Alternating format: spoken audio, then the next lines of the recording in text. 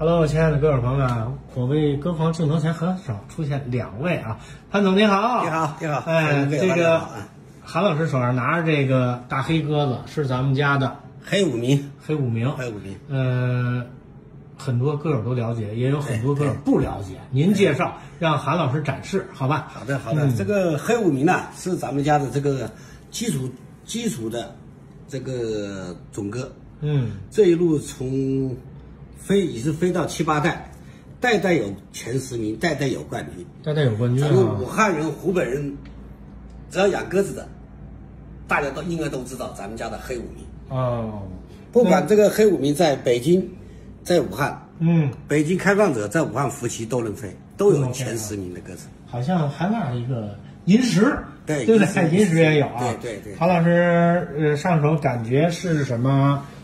超一流的鸽子啊，鸽子特别紧凑，而且硬。这鸽子大伙看了看啊，嗯是个长三角，啊，它不是那种大三角，嗯啊，棒子体，证明大夺冠，而且能往远处拉。这鸽子我感觉千公里都可能能下来。千公里不敢说，反正是咱们没有放过千公里，但是舍不得放对对对，打关赛、打装潢、打特比环是确确实实都检验过啊，都检验过哈。对夺冠赛的上去好东西。不只会赢不会输的啊！哎呦，呃，话别说太满，对对，因为真是这样，真是这呃，样。听我说啊，嗯，这个快手里有钉子，是这种在实咱球无法喷啊可以查的。对嗯这个不，这个咱说的话都可以兑现。嗯哪个是哪个哪哪一年哪个哪个哪个地方，咱们都可以查得到的。都能查到，有据可查。对，有据可查。嗯这一一八年的北京开放的第一关的第十名嗯，是他的儿子。啊，是他儿子啊，呃，不是歌王七，啊，不不 不能老提歌王七。去年的去年伏羲村的第二关的亚冠军是他的儿是他的儿子。啊，是他的儿子。呃，一一八年的这个武汉伏羲的第一关的亚军是他的儿子。啊，哦，呃，那个漂亮啊！这么白叶窗啊，啊，这么多啊，飞过的都是他儿子。呃，直播间 分享有没有他的后代们啊？呃，要找要找。要找是可以有啊，可以有这个这鸽子的膀子，嗯你看跟这个那那两只啊，嗯奥林匹克歌王冠军嗯，还不一样，要不一样，拉着紧这鸽子，啊，这歌是紧啊，嗯，这鸽子膀子紧，嗯。而且这鸽子招，你看这鸽子哒哒哒哒哒哒哒哒哒一直在抖，十足啊，一直在抖，嗯。发电机啊，哎发动机，啊，发动机吧，哎，然后膀子底下这一个手指头挑子的时候，就感觉触电的感觉，哇哇，这鸽子一四年的鸽子啊，他的女儿嗯。在武汉夫妻俱乐部嗯单冠的冠亚军一队啊，啊，一队，单冠的冠亚军，嗯。四冠的综合冠亚军，太棒了，那太牛了，单冠的冠亚。嗯。哎，啊，然后四冠综合的冠亚，嗯。就他的女儿，Hello，亲爱的各位朋友们啊，看看这羽鸽子啊，雨点儿。沙眼，黄眼，黄眼，熊哥啊，稳稳当当的一羽熊。我现在看他文档啊，嗯。正要倒毛啊，嗯。这可不是我抓的啊，自己钓的啊。哦，好家伙，那么贵的鸽子有点害怕。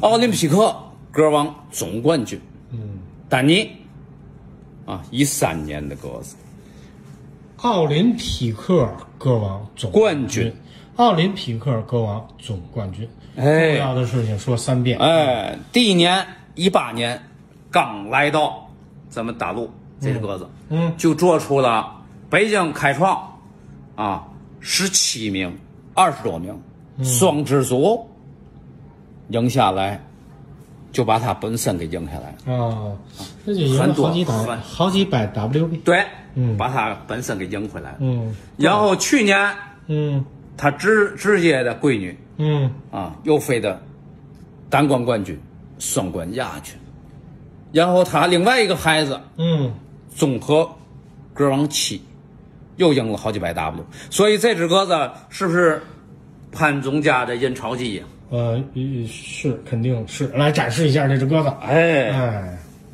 又是很柔，把膀子打开，很柔，嗯。没有一点力气，嗯，打的时候呢特别松啊，哎。绑条有特点吗？这只鸽子绑桥啊，就说在公公鸽子里头中规中矩，但是它这个飞机膀子还是挺有嗯，很明显啊，很明显的。嗯，这鸽子我感觉它最大的一个特点就是柔，嗯，浑身都是柔的。嗯，你摸它，它没有那种特别特别燥的劲头啊，稳稳当当、很柔啊。稳稳当当的飞下来的冠军，奥林匹克歌王冠军，总冠军。嗯。啊！大伙知道得多少 W？嗯，反正多少 W 人家是挣回来了，哎，嗯，挣得多多呀！嗯，超值啊！这就是所谓的，你说买的时候可能有点心痛，但是在打比赛的时候开开心心，是吧？对对对对嗯，赢的时候大价码，然后呢也给我们武汉金太阳潘总赢得了，应该翻了跟头了哈。多少多少个跟头了，已经啊！非常漂亮的啊！这只鸽子是二零一三年的，呃，一语鸽子，名字叫丹尼。对，哎，好，呃，可能是不是近期也能分享他的亲戚后代们。啊，后代们，后代们啊呃，我们争取啊，嗯，子代得看热情，来看热情，哎得看 得看歌友们的热情。的米啊，哎。喜欢的啊，我们到时候直播间啊，可以跟我们公屏聊。我说就问他多少钱，人家不卖，都开多少钱你就不卖，不卖我就这样吧，我们就想欧洲，你到欧洲去，你知道啊，欧洲人有个特点，你如果说买个十只二十只，他不卖的鸽子，你要是说有多了，他就会动心，必须买鸽子，这是一个特点。第二个特点，打个比方说啊，你买了三只鸽子，你看中了三只鸽子，谈价谈价，只把那这两只鸽子价格谈好。你他很多人不还价，哈，不还价上你把这只鸽子送了可以。你要说三只鸽子谈价砍价不干，欧洲人对数字很很很他妈，这个说简单一点，他就不理解这个数字的问题，这个这个这个价格你砍了价他不愿意。好，买这两只鸽子，你送我这一只鸽子。欧洲很多人就是这样，你要是你要是砍他的价，不好砍价。啊！但是你说买这两只把这只，实际上还是砍了，比砍价还厉害。对对对，想办法就买他的鸽子，就买他的，叫他挑挑挑挑，挑了七八十只鸽子，都一个人用小笼放的。我们就就喝茶，叫鸽子拉鸽子，我们来挑。他拉了拉了七八十只，一个人一个笼放的，我就挑，我就在里面挑了六只。我六只鸽子基本上考不慢，就是这个八个副驾的，基本上六只鸽子都来成绩。我自己挑了六只，我六只全挑母。然后我我我就我就我就想我要买公了，买他这个公，嗯，知道吧？好，我就开始买他这个公，我把这个公给他，把这个公之后，买了这我买了这么多鸽子，他对吧？正好他不卖，正好是把这个公给买回来，这个公特别好，这是一个。第二个，我又我在家里看中了一个什么鸽子，迪卡普要。嗯，我在欧洲跑了欧洲多少次，多少家到处找迪卡普要，他们家那个迪卡普要多少最好，我认为是最好的一个迪卡，我就跟他开口。跟他叫价，他不也是说不卖。我说出了多少钱你知道吧？出了人民币八十万，没成绩。村长说你这鸡巴瞎胡闹，以后这样搞他，我以后你再把市场给我搞坏，没成绩你就要出八十万。我说这我买又不是你买，你管我呢？人家还不卖，嗯，没办法，卖怎么办呢？我就回头我就找了我这一只，这一只鸽子是我所有看到在迪卡普利奥的这个品系当中的，我这家里这个地方应该是排第二，嗯。我就说不行，我就把转头我就把那个第二就买回来，买回来又又跑回到他家里去。我说这样，把钱进了，你给我出点小个，把他们家的这个迪卡普廖的，这个好我喜欢的那个迪卡普廖最好的一只，出来的小个子，出小个子可以把定金一交，人家欧洲人还是蛮小心，出来谈了好多少钱，这这把小个子发过来，我用他的迪卡普廖的纸袋就配我们家，实际上这个迪卡普廖真能飞，嗯。就谈速度的话，是一般的鸽子还真不能。